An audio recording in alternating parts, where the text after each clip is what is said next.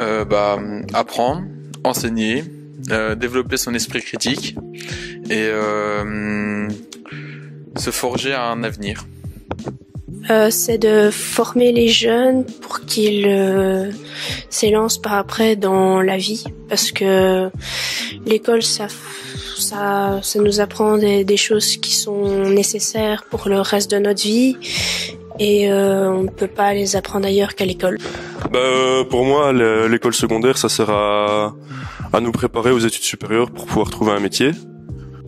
apprendre à vivre, se forger euh, un esprit critique et euh, savoir euh, être dans la société et vivre avec les autres. Pour moi, l'enseignement secondaire bah, permet euh, d'un peu apprendre les, les bases de la vie et euh, bah, la vie en société, rencontrer euh, et un peu notre culture et aide à avoir un peu de culture générale.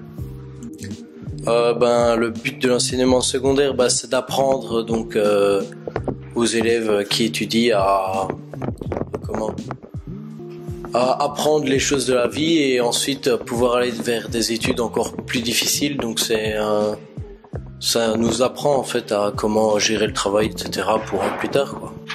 Euh, pour moi, ça permet de développer le sens critique.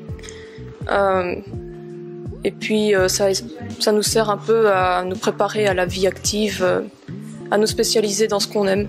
Euh, pour moi, le but de l'enseignement secondaire, euh, c'est euh, vraiment euh, d'accompagner l'élève, vraiment lui demander s'il a vraiment bien compris, parce que parfois on n'ose pas se reposer des questions parce que euh, on a peur que ce soit idiot, parce que le prof l'a déjà répété 50 fois, mais euh, faut- je trouve qu'il veut pas hésiter. Alors pour moi, c'est vraiment accompagner l'élève jusqu'au bout et lui donner les conseils pour évoluer, pour le préparer à être indépendant.